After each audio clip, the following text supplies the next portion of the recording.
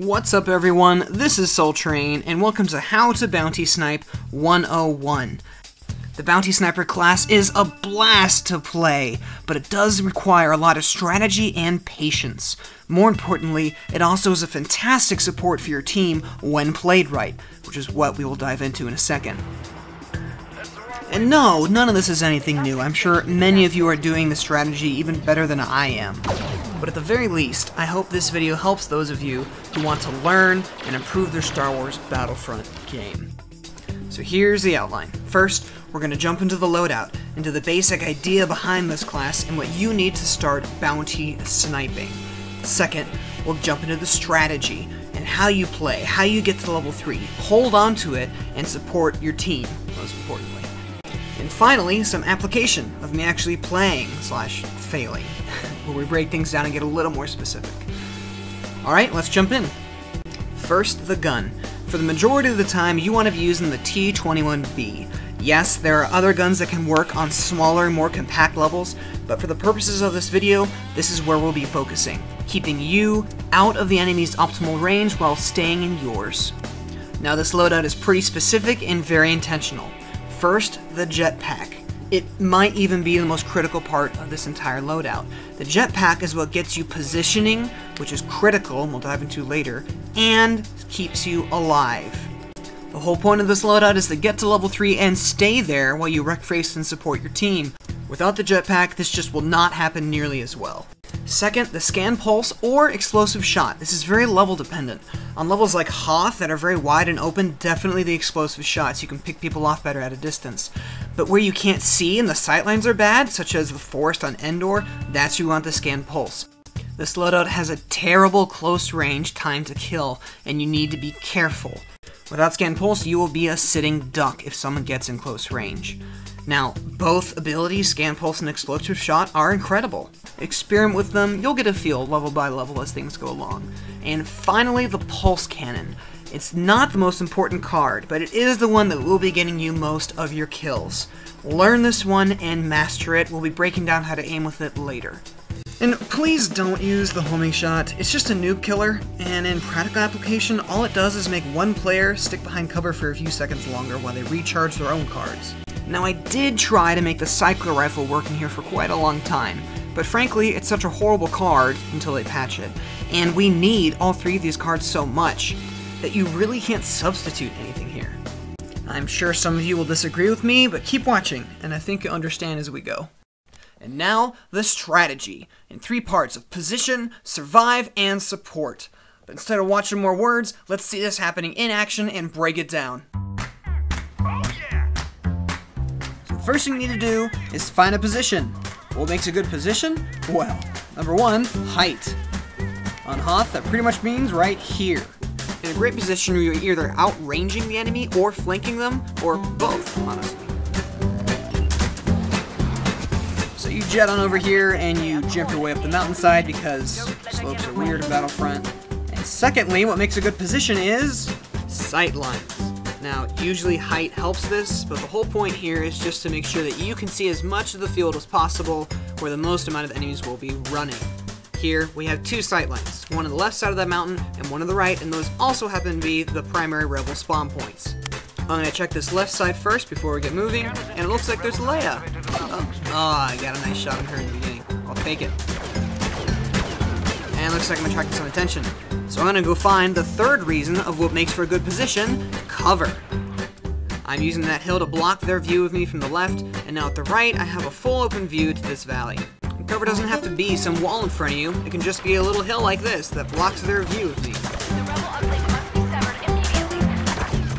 Take this stupid thing out. Once I do, I'm gonna check below to make sure there's no one else there, and then I'm gonna jet over and try to get the objective. Now, normally your teammates should be doing this for you when you're covering them with fire, but in this case, you gotta do the dirty work yourself. Don't be afraid to jump in once you've cleared the area. Of course, just be ready to run away pretty quick because you cannot stand the inevitable flood of rebels that's gonna come on you. You can run back up this hill from the side without a jetpack, by the way. Alright, so now we're back in our position, and we are starting to rack up some kills here. Get him Oh, I missed. that happens. You miss, just pick them off with your gun. You, you, have a lot of options here. Once you start getting kills, now you're officially in the second phase, and that is survive. As you make kills on a particular sightline, the opposing team is going to notice you more and more. You have to have a sense for this and be completely willing to just run to the other side, block that sightline, and start sniping from a different area. Now the jetpack isn't just for positioning, but survival. If you're taking hits and low on health, jet out of there on a twitch reflex, and presumably preserve your kill streak. Don't be your hero. You'll more benefit to everyone on your team at level 3. You are meant to be a support with this class. To that end, it is your job to take out other snipers. You gotta keep a third eye in your head on any potential enemy sniper positions. So we just made it to level 3, and now everything we just talked about gets magnified. Every time you kill an enemy, all of your cards refresh and you get a power-up. Power-ups of course random. Now, you're triply more deadly to the enemy team and triply more valuable to yours, meaning surviving is that much more important. A level 3 bounty hunter can single-handedly turn the tides of a game at the end, and you need to try to survive to get there every single game. To that end, a level 3 bounty hunter should be thinking primarily about two things, aggro management and power-up management. Once you get to level 3, keep in your head an invisible greed counter. Every single kill is plus 1. Here, I've been harassing the enemy team, and I'm getting pretty greedy here. Maybe I'm about plus 3, and yep, I get a homing shot lock, and I run to the other side. Once you've aggravated a certain area of the opposing team, move. They will have pulse cannons, and you will die once you are greedy. Second is power-up management. Here, I throw down a mine. Mines are critical power-ups for covering your butt in the later parts of the game. I'll show you why. Here, I'm gonna pop up, get a kill, but then I'm gonna see a ton of enemies here, and I'm gonna run to the other side to lower the aggro. I drop a squad shield to cover anyone that tries to shoot me, and then I look around. Change sight line, and see nobody. That's interesting. Oh, another shield. I'm gonna drop that to cover my six. Why? Well, that's why. One of the soldiers saw me and jetpacked up here. However, he couldn't shoot me because of the shields that were in his way, so he ran up right into my waiting proximity mine. So now I run into my shield because, look at that, there's another enemy right there. Fortunately, I have a jetpack, so I can get over him and use that rocket to cover. Now I have again defended my position and I can resume my sniping spree. Now, if this class has any weaknesses, it will be spaceships. As people will be mad at you, and they will get in the ship, and they will target you specifically. Best defense you got, frankly, is just shields. And, of course, fighter stupidity. this is how I personally rank the power-up use for this class. Card refresh, just because if you miss the pulse cannon or jetpack, you get an instant refresh, and it really helps you get to level 3 faster. The thermal imploder, use it right, is an instant bump from level 2 to level 3 or so much. It's all about positioning. The rocket launcher is also fantastic, as if anyone's in a vehicle or in a turret, another simple kill. And critical on the later stages is, of course, defense. Shields, proximity mines, etc. I've used and shown so far.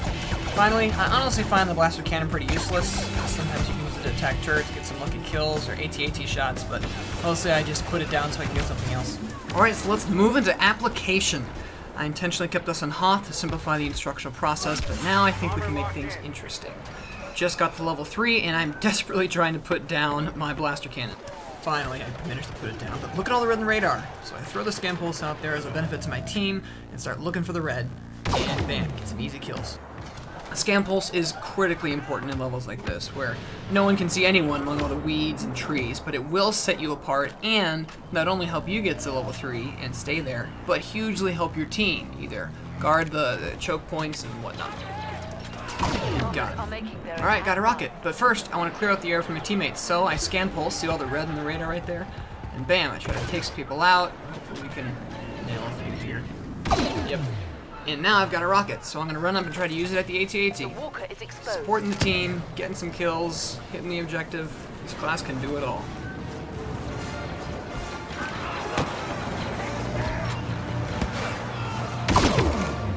I also really enjoy this on a drop pod. So here, I just got a thermal imploder, and I'm going to throw it in the direction I see people using my uh, scan pulse. And I'm going to get really lucky, because I'm going to get two kills here, and bam, I'm level 3. Now, suddenly, I'm to start taking some damage here. And, oh, getting fired, so I'm to jet out of there right into where I know my teammates are. I'm to use scan pulse here, because I'm getting flanked, and the scan pulse will hopefully set my teammates on the guy shooting me. And now, I'm to go through the steps. Find a good position, set up shop, and start nailing some fools down. get up here. This is just one of many good positions in this level. You have to be very mobile in this level. Scan pulse, and I see a guy up here and nail him. Again, your job is always to hit other snipers. A stupid blaster cannon, so I got rid of it here. And now I'm looking for more. I'm going to be using this blaster cannon as a shield. And oh, here come the enemies. So I'm going to hide back, charge up, and get one, and I get another blaster cannon. So the odds are not in your favor. Uh, uh, here's Hoth again, with a good example of a greed counter. So we get one kill, and boom, that's one. I'm feeling myself. I'm throw this hurt up there just to harass anyone that comes close. Yeah, and don't forget to keep using your power-ups. Even if you cannot reach them with the imploder, just chuck it out there. Because you don't know if you might get a rocket launcher or something more useful. Somehow missed that shot. Kill. Counter's up two. So I should probably think about moving now, but man, I'm feeling myself. I want some kills, yeah. Oh, I feel like I'm on fire. I'm just gonna keep nailing these people. I love shots like that. And I should be moving right now out of here, but nope, I want that kill. I miss it, and totally deserve that.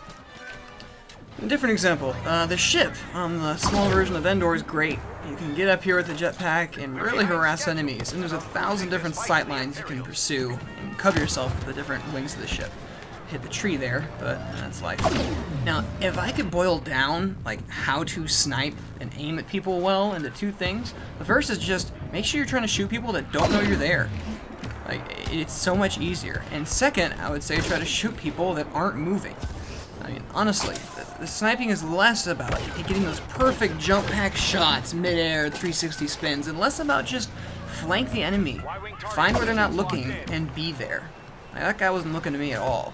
That's the main trick I use. I could write you a whole guide of how far ahead to aim for each weapon, but I really don't think that's useful. Just keep playing. Your aim will get better. You will learn the pulse cannon line and how you do have to aim a little bit ahead for faraway opponents.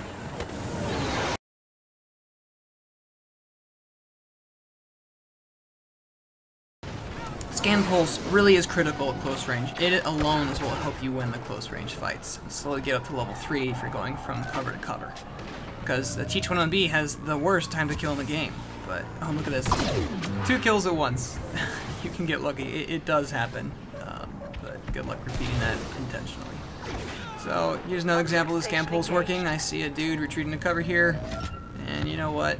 I'm gonna go nail you. And I miss him, but it still takes off most of his health so I can get it. But I see people, people with the radar. I'll see Luke Skywalker, or whoever that is, enemy hero over there, so I jetpack out.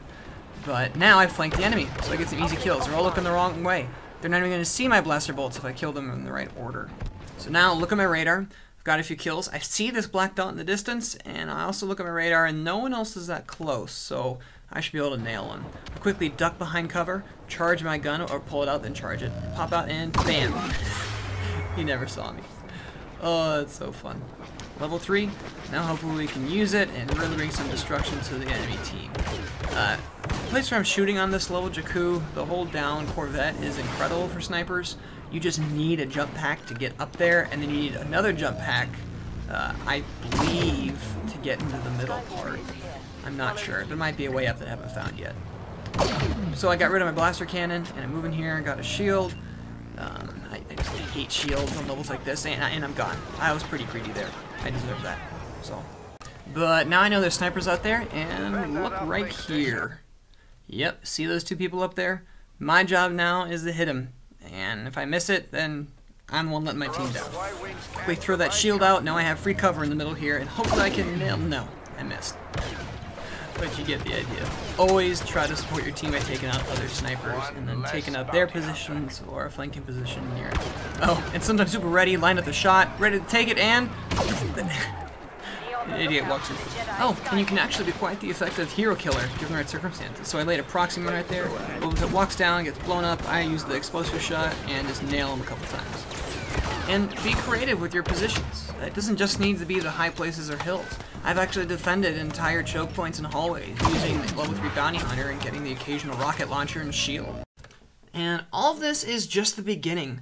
There's so many more details to dive into, whether it's stage by stage analysis, mode by mode, slight modifications, like changing which gun you use. You explore it, test it out, and let me know what you think.